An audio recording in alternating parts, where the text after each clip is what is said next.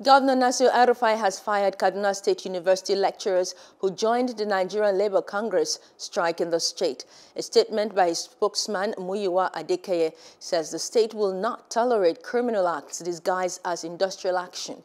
He says any academic staff of KASU that does not report for work will be dismissed. It ordered the management to submit a copy of the attendance register for all categories of staff daily to the Secretary, to the State Government, and the Commissioner of Education. Hello, hope you enjoyed the news. Please do subscribe to our YouTube channel and don't forget to hit the notification button so you get notified about fresh news updates.